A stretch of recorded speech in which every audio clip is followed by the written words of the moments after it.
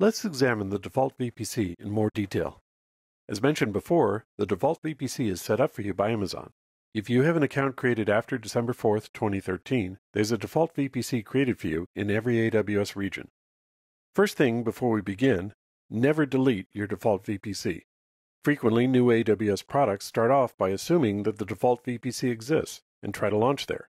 Later, as the products mature, they become more adaptable, but it's best not to risk the possible complications of not having the default VPC. If you've accidentally deleted your default VPC, contact Amazon support to recreate it for you. The default VPC typically has an address range of 172.31 to 172.31.255.255, which means that we can have over 65,000 IP addresses. The IP address range is expressed in what's called CIDR notation. That's CIDR. CIDR notation is a compact way of expressing what our IP address is for a whole network and how many IP addresses we can have in that network. This is the US West 2 region located in Oregon along the Columbia River. If you're looking for a region to work with, this is a good one because it is big. Along with US East 1, it tends to have the lowest prices. It is relatively less crowded than US East 1, and in case you care, it is carbon neutral. The default region looks like this. Note the VPC spans all three AZs in the region. Note also that the region has a separate subnet in each of the availability zones. That's because even though a VPC can span an entire region, a subnet can only span a single AZ. So at minimum, if you have three AZs you want to put systems in, you need to have three separate subnets. AWS guarantees that as new AZs are added to each region, your default VPC will expand to include them. Let's focus on the structure of the default VPC. Each of these subnets has a slash 20 designation which means that each subnet can have up to 4096 IP addresses, but actually only has 4091. Why only 4091? Because Amazon reserves both the first four addresses and the last address in each subnet for its own uses. They're not available for you to use. Beyond the numbering, these subnets are special because any system you put in them automatically has access to the internet. In VPC terms, they're called public subnets because traffic to and from the public internet can flow through them. In order for a VPC to have public subnets, the VPC itself has to have an internet gateway. Then there are two critical parts that make these subnets public. The first is that each of the subnets has an entry in its route table that says if the destination for a particular packet is not in this VPC, in other words, it doesn't have an IP address starting with 172.31, send the packet out the Internet gateway and let the Internet deal with it. In technical terms, each subnet has a default route to the Internet gateway. The second part is that each subnet will automatically assign a public IP address to each EC2 instance you put into it. Each EC2 instance will then have two addresses a private IP address for traffic within the VPC, and a public IP address for traffic to and from the Internet. Think of these the way you refer to things at school or in your community. You tell someone next to you, I'm going to the library, and they know exactly where you're going. But if you wanted to send a postcard to the library, you would have to write down the actual street address for the library. Okay, so we've looked at the theory of the default VPC. Let's put that theory into practice. Here we are at the AWS Management Console. As you can see, we're in the Oregon region, known formally as US West 2. When I click on the VPC, you can see that we already have a VPC set up, and you've probably already guessed that that's the default VPC. You can also see that we have three subnets set up, one for each of the availability zones. How can you tell quickly which kind of account you have? The way to do that is look in EC2 and look at your account attributes. If the supported platform just says VPC and there's a VPC ID under the default VPC, you have an account created after December 4th, 2013, or you have a default VPC that Amazon set up for you. So let's take advantage of where we are and launch a couple of EC2 instances and scatter them around the availability zones to make sure that the instances stay up no matter what happens with the infrastructure. So we'll start off by creating a single instance by launching it, and we'll look for a Amazon machine image that I know definitely has a web server as part of it. So we'll start up this instance right here. We're going to use a T1 micro here because it's free. Here in the instance detail screen, we can check to make sure that we are in the default VPC and then we choose the availability zone we want to be in. So let's pick 2C here. We can also make sure that we're going to get a public IP address. And as you can see, by default, it's assigned to us when we put it into that subnet. so we don't need to add storage. Always make sure that you tag instances. We're on the tag screen here. There's nothing worse than looking at a screen full of systems that you have no idea why they exist, and you don't dare take down because you know someone is depending on them. Call this Web Server 1, and now we'll create a security group to protect our systems.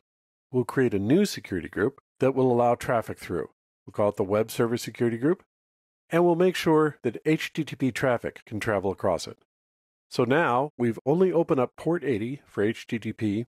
We're allowing anyone in the world to talk to it, but traffic going to any other port, FTP, HTTPS, SSH, traffic going to any other port will not be allowed to come into our server. So we'll review this. Yep, it's got the right Amazon machine image, the right type, security groups are set up correctly. So let's go ahead and launch. Amazon requires that you embed what are called public key pairs or public keys in the instance that you're creating. What this does is allow you later on to get into the server if you need to. So I created earlier on a pair of keys, a public and a private key called web server key pair. I have the private side of it, Amazon has the public side, and I'm authorizing Amazon to embed the public key so I can access this system later if I choose to.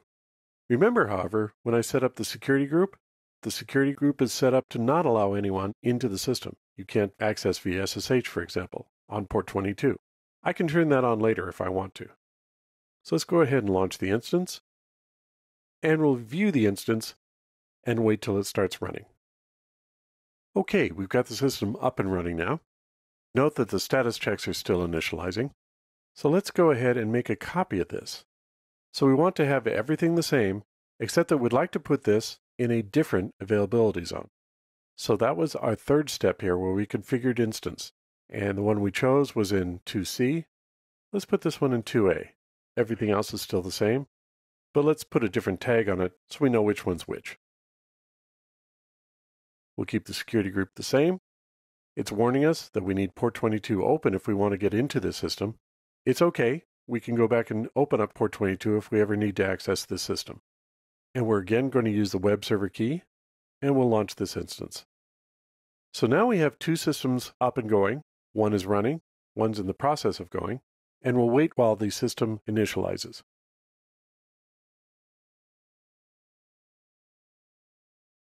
And the second system is up. So now we have two systems up, and should anything happen to the infrastructure of one, the other one will still be available. Trouble, though, is our users would have to keep track of things like the independent IP addresses of each one of those. But Amazon has a way to distribute traffic amongst web servers so the user doesn't have to know who's available and who's healthy. So let's create a load balancer to distribute that traffic. We go in, create a load balancer, what Amazon calls an elastic load balancer, by giving it a name and then telling it that it's going to be running inside the default VPC and what traffic it's going to be load balancing. So in this case, it's going to be sending web traffic. It's going to receive traffic on port 80. It's going to send traffic to the servers behind it on port 80. So let's continue.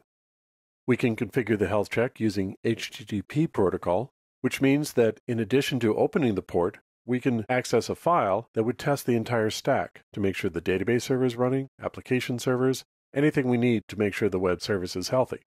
We're going to go a little bit simpler and just open the port.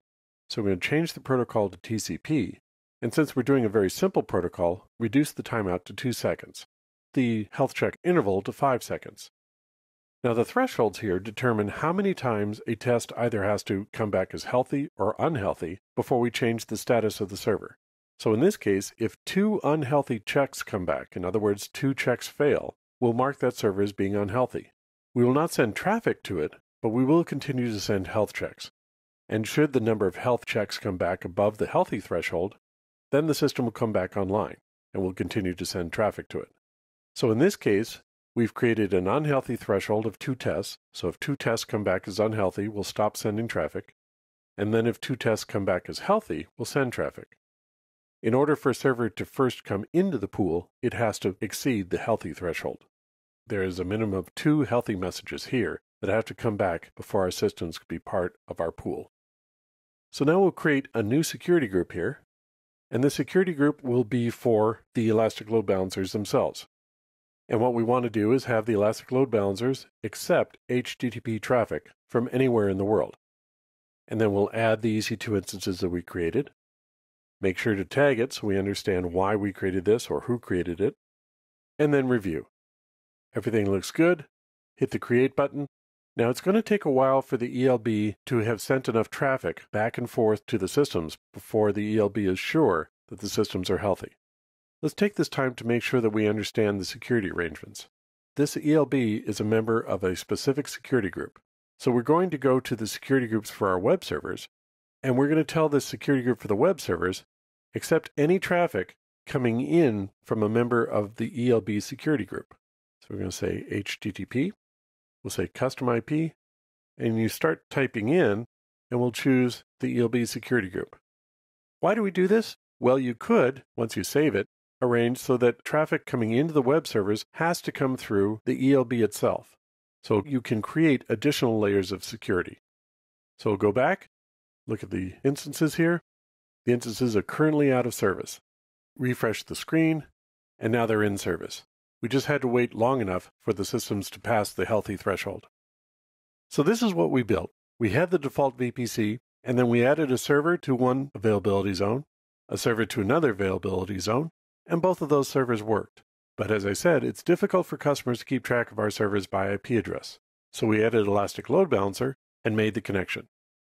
The default VPC is there to help you organize and protect the resources you start in Amazon Web Services without having to do any additional network design.